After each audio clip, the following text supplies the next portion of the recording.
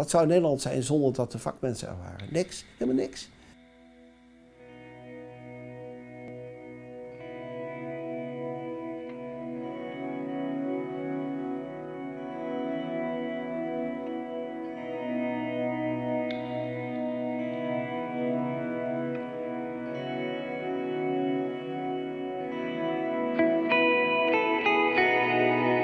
Ik zat in Italië op vakantie en ik werd gebeld door iemand die zei: uh, God, uh, je gaat onderwijs doen. Ik zeg: Ik weet helemaal nergens van. En toen bleek dus dat hij achteraf gewoon vergeten was. S'avonds had hij Annemarie Jorsma, toen vice de telefoon. En die zei: Heb je Loek dan wel gebeld? Ach, die ben ik vergeten te bellen. Dus de volgende morgen om 8 uur ging de telefoon. En toen speelde onderwijs, ja. En ik had zoiets van: Ja, waarom vraag je mij? Hij zei: Nou, ik vraag juist iemand die geen relatie heeft gehad met het onderwijs, want er moeten heel veel dingen gaan veranderen. Eigenlijk, toen ik de eerste keer uh, te maken kreeg met het beroepsonderwijs direct face-to-face, dat was bij de Euroskills, Europese kampioenschappen beroepen in Groningen. En ik loop daar naar binnen toe, die zaal binnen, en ik was een paar weken, een paar maanden minister van Onderwijs, maar over een paar weken. En ik had alleen maar klachten gehoord, alleen maar gehoord wat er niet goed was. En ik kom daar uh, die, die Martini-hal binnengelopen. My god, wat een opluchting. Enthousiaste leerlingen, enthousiaste leraren, bezig met hun vak. Dat straalde, er spetterde de, de interesse gewoon van af. Dat wil ik wel eens even gezegd hebben. Want dat was echt toen voor mij in iets zo van, daardoor heb ik het altijd in mijn hart gesloten, het MBO. Fantastisch mooie kwaliteit en kracht. Ja, en dat leraren, dat daar ook leraren tussen zitten die wat minder enthousiast zijn en wat minder uh, werken en wat minder uh, zeg maar, uh, inspelen op de nieuwe ontwikkelingen en werken met de nieuwe technologieën. Dat is waar. En dat is nou juist zo belangrijk om die leerlingen er goed bij te houden. Om te zorgen dat ze die interesse blijven houden. Dus contacten met de bedrijven. Dus dat ze in de bedrijven die stages kunnen lopen, lessen kunnen volgen. Van leraren les krijgen die in die bedrijven werkzaam zijn. En dat betekent ook dat je veel meer met zij-instromers moet werken. Zeker in het middelbaar beroepsonderwijs. Maar ja, er zijn leerlingen die eh, te maken hebben met leraren waarvan ze zeggen, ja, daar komt helemaal geen motivatie uit. En dat heeft ook te maken met de gedachte dat wij natuurlijk in het onderwijs altijd iets hebben van zo hoog mogelijk, tussen aanhalingstekens, in de hiërarchie. Dus gymnasium is veruit het beste. En dan nog ateneum en dan HAVO. En dan pas gaan we naar het VMBO en MBO toe. Dat is natuurlijk helemaal niet waar. Het gaat over de talentontwikkeling van iemand. Van een leerling, van een kind. En als die talentontwikkeling beter in het beroepsonderwijs tot zijn recht komt, is dat voor het kind honderd keer beter dan dat hij gymnasium probeert te volgen wat helemaal niet goed gaat. Hm. Dus laten we nou eens ophouden met die hiërarchie denken. Veel ouders denken, mijn kind moet gymnasium gaan doen of mijn kind moet... Terwijl als je nu op dit moment vakman bent, in, in een echt vak, en je beheerst dat, en daar heb je gouden toekomst, gouden kansen. Nederland schreeuwt om de mensen van het MBO. Het is het betonnen fundament van onze samenleving. Die mensen hebben we heel hard gewoon nodig. Mijn ambitie was om een, om een aantal onderwerpen ook echt geregeld te krijgen. In de eerste plaats wilde ik meer rust in het onderwijs. Dus niet voortdurend al die veranderingen. Ik had toen een staatssecretaris, Karen Adelmunt, die ook voor het basis- en voortgezet onderwijs eh, verantwoordelijk was. En die daarin ook een belangrijke rol in gespeeld heeft om te zorgen dat dat ook voor elkaar is gekomen. Hm. Langzamerhand de zaak uh, zodanig geregeld dat het onderwijs niet iedere dag of iedere kerstmis met alle veranderingen op schoot uh, moest gaan kijken wat er het komend jaar allemaal weer opnieuw zou gaan veranderen in het onderwijs. Mijn ideale filosofie is eigenlijk gewoon dat ik zeg, ik heb een, een, een opleiding, het kan een ROC zijn, met verschillende opleidingen. Daar sluit ik een contract als minister met de leiding van die school. Jullie zorgen voor goed kwalitatief beroepsonderwijs. Dat wordt gecheckt door de inspectie.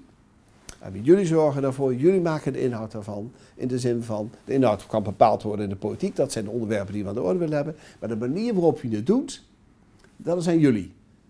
En we geven eens per jaar of eens per twee jaar een inspectieverslag. en dan kunnen de ouders en ook de kinderen zien, de deelnemers zien naar het onderwijs, van wat de kwaliteit van het onderwijs is op jouw school. Dus niet overal regels en bij elk ding gaan zeggen het mag wel of het mag niet. Gewoon de, de leiding van de school, de directeur, de directie, die de bevoegdheid geven en zeggen aan jullie die mogelijkheid. Dat is mij niet gelukt. Ik had dat in het voortgezet onderwijs willen doen, basisonderwijs en MBO. Maar er zit zoveel uh, besturingselementen in van ouderraden, van toezicht, van confessioneel, ik weet niet wat allemaal. wat in feite allemaal lagen van toezicht op die school oplevert. Terwijl de professionaliteit van de leraar, professionaliteit van de leiding, daar had ik het graag mee willen doen en gezegd: oké, jullie krijgen mij dat vertrouwen. Dat vertrouwen wordt gecheckt. Dat wordt gecheckt via de inspectie. Blijkt dat het niet klopt, dan kom ik bij je terug. En dan zeg ik, jullie hebben hier niet gauw een afspraak. Doen jullie het goed, krijg je alle ruimte om het zelf verder in te vullen over uh, hoe je dat onderwijs verder wil gaan geven. Nou ja, ik ben altijd groot voorstander geweest om mensen uit het bedrijfsleven voor de klas te halen.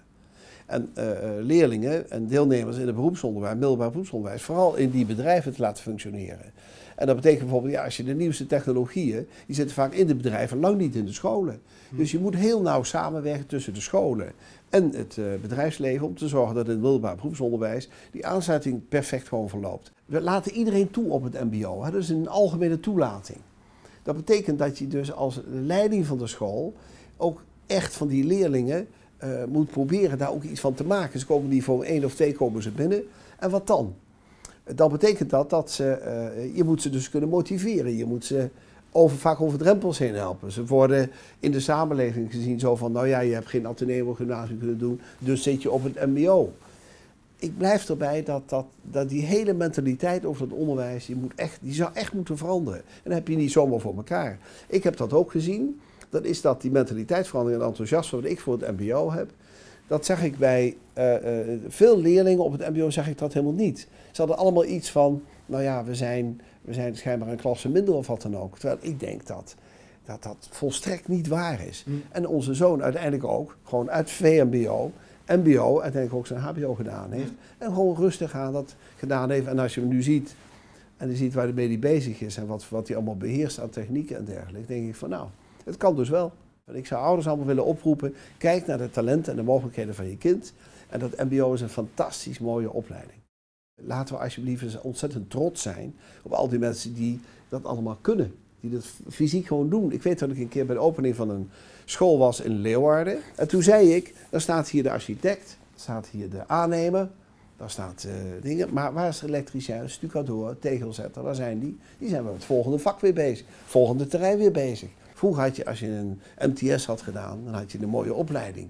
En tegenwoordig roepen ze dan allemaal van, was de oude MTS er nog maar? Nou, laten we blij zijn dat hij er niet is, want die zal volstrekt niet meer aansluiten op de huidige situatie. Je moet dus aanpassen, je moet vernieuwen, je moet het anders oppakken. Je moet meer mensen uit het bedrijfsleven halen, meer bedrijfsleven erbij betrekken.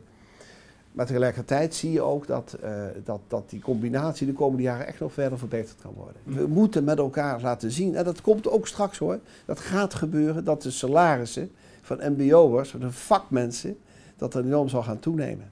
Omdat er straks veel, veel te weinig van zijn. En zonder die vakmensen de samenleving gewoon niet draait, worden ook steeds meer mensen ZZP'er. Omdat ze zeggen, ik kan veel beter mijn eigen baas zijn. Met mijn eigen vak wat ik heb, wat ik beheers. Fantastisch mooie ontwikkeling. Doen. En daar zitten grote kansen ook voor het beroepsonderwijs. Zorg dat de leraren, dat die uh, nog veel meer gemotiveerd kunnen worden. Doordat je ze veel meer uh, autonomie geeft, veel meer ruimte geeft om zelf dingen in te gaan vullen. Uh, ik denk dat het van heel groot belang is dat als de leraren hun eigen mogelijkheden hebben, dat we ook eens ophouden met vanuit Den Haag maar te roepen: het moet zoveel uur dit, zoveel uur dat, zoveel uur dat. Laat nou die, die, die leiding van die school samen met die leraar die inhoud geven aan datgene wat de politiek wil dat het beroepsonderwijs opleidt, samen met het bedrijfsleven. En vervolgens hoe je dat doet, overlaten aan de scholen zelf. Maar je zult zien dat in de hele hiërarchie van het onderwijs ook de positie van het beroepsonderwijs steeds sterker zal gaan worden. Want je zult mensen, vakmensen moeten hebben om vakmensen op te leiden. Dus dat wordt, dat wordt ook een, een grote discussie. Hoe gaat dat gebeuren? Schaarste zal uiteindelijk zich ook gaan vertalen daarin. Ik zou willen zeggen van, er zullen dingen fout gaan. Ja, natuurlijk. Maar daarom hebben we ook een inspectie die kan zeggen, luister eens, gaat de verkeerde kant op, u moet bijsturen. Als je dat soort dingen, dat systeem van, van toezicht van de inspectie, de rol van het bedrijfsleven, die ook heel nadrukkelijk meekijkt wat de kwaliteit is van wat afgeleverd wordt. Al die elementen bij elkaar. Dan praat je over hele andere discussies dan dat we vanuit de toren, vanuit Den Haag blijven zeggen, zo moet het en zo moet het. En natuurlijk wordt het allemaal ontkend als ze het allemaal niet meer zeggen, maar ga maar eens praten. Er wordt zoveel wordt er neergelegd en er wordt zoveel gecheckt en zoveel wordt er op toezicht, toezicht, toezicht, toezicht gehouden Dat ik zeg van jongens, ja, zo maak je het. Zo, zo dood je ieder eigen initiatief, iedere, ja, zeg, ook vreugde in het vak kunnen uitoefenen. Maak die ruimte. Maak die ruimte de komende jaren.